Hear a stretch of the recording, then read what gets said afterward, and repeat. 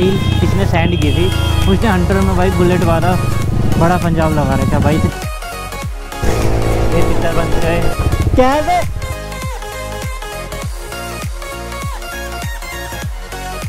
तो hello guys welcome back to my channel तो यार, ये सीन अभी हम मैं नहीं कर रहा हूँ। तो मैं सैम और विनय टंकुल बैठे थे। तो हम बैठे बैठे ना हमने यही सोचा कि भाई मेरे को ना अपने हेलमेट में नाम लिखवाना था। मेरे को अपने हेलमेट में नाम लिखवाना था तो हमने ये सोचा, चलो अभी चलते देन मैं फार मैं हेलमेट लेके गया था अपना पुराना वाला तो फटाफट मैं घर आया। फटाफट मैं घर आया और हेलमेट लेने। तो सोचा, चलो यार, जा ही रहा हूँ तो एक छोटा सा एक ब्लॉग बन जाएगा, ज़्यादा लंबा तो नहीं, थोड़ा छोटा ही बन जाएगा। और ठीक है, छोटा ब्लॉग भी बढ़िया। क्योंकि अब रेगुलर बेस में मैं ब्लॉगिंग करना शुरू करने वाला हूँ। तो एक काम तो निपटेगा नाम लिखवाने वाला। फिर सैम और विनय को भी अपने हेलमेट में रैप करवाना था। और भाई, कल के ब्लॉग में क्या हुआ? जो संडे राइड का ब्लॉग था मेरा। तो भाई, मेरे से ना माइक ढंग से नहीं लगा था आई थिंक माइक ढंग से ना लगने के कारण अपनी आवाज़ ही नहीं आई वापिस आते टाइम वाले में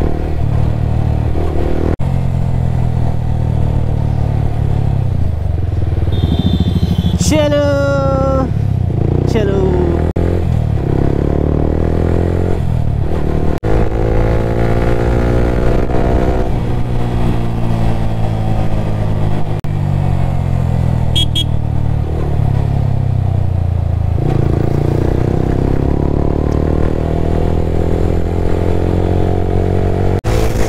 ये तितर बन गए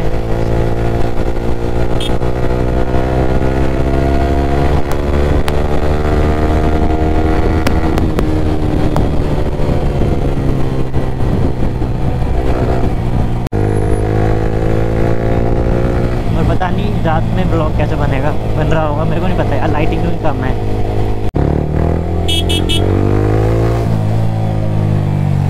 रील्स किसने सेंड की थी?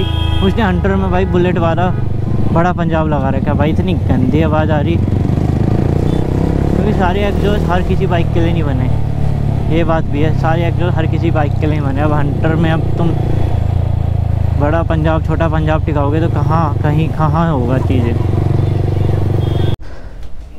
भैया है नहीं। हरियाण भैया है?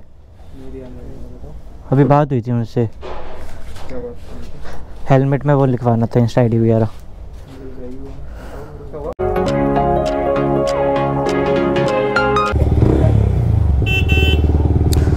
तो भाई हो गया जो अपना खर्चा हुआ वो अपना ढाई सौ रुपये में दोनों साइड।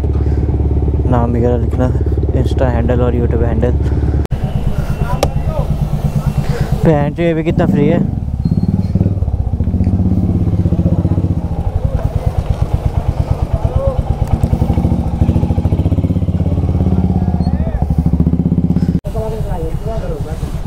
आ जाइए सेम वापस आ जाइए वापस आ जाइए मेरी मछली निकालने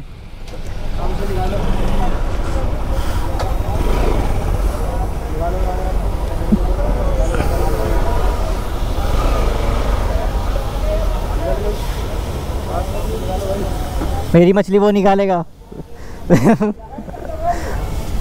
हाँ हाँ। यस यस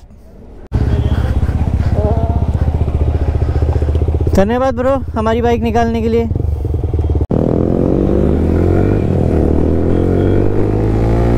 तो भाई चर्च के पास अपना वेट कर रहा है सॉरियन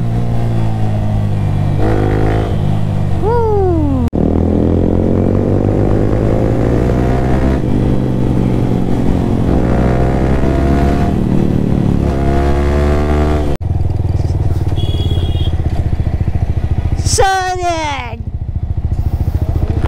क्या है बे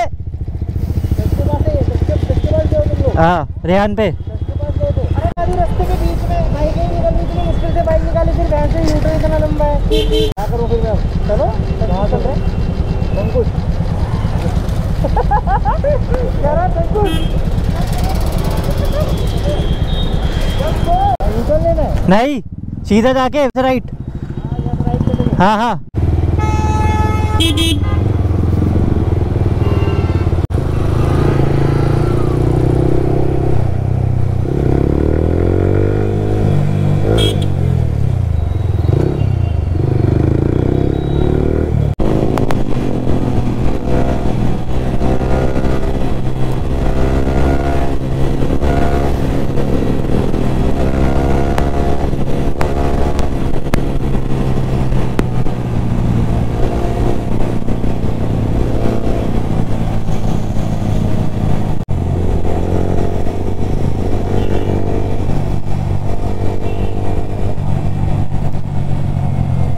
चैन मोटा पैसा आ,